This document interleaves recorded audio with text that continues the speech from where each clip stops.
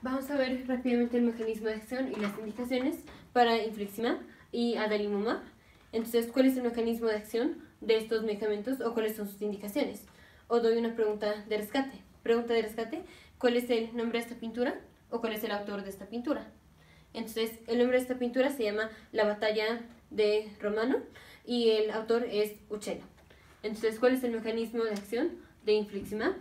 El mecanismo de acción de infliximab y de adalimumab es que es un anticuerpo monoclonal, anticuerpo monoclonal, en contra del factor de necrosis tumoral alfa. Entonces, como ya vimos varias veces, anticuerpo monoclonal quiere decir que es un anticuerpo sintetizado en el laboratorio, no es un anticuerpo que nosotros produzcamos.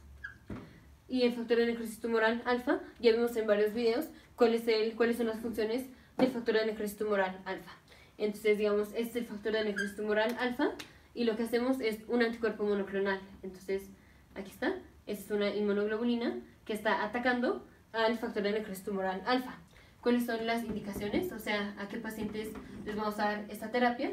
Se lo vamos a dar a pacientes con psoriasis o se lo damos a pacientes con espondilitis, espondilitis anquilosante, espondilitis anquilosante, o se lo damos a pacientes con enfermedad enfermedad de intestino, intestino inflamado.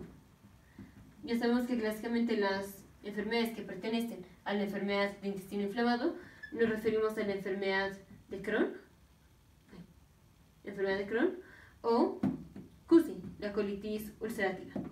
Entonces, básicamente a pacientes con psoriasis, espondilitis anquilosante o enfermedad de intestino inflamado. Básicamente a estos pacientes se los vamos a dar. Entonces, infliximab y adalimumab son anticuerpos monoclonales en contra del factor de necrosis tumoral alfa. sus indicaciones son psoriasis, espondilitis anquilosante o enfermedad del intestino inflamado como es la enfermedad de Crohn o colitis ulcerativa. Nos vemos en el siguiente video.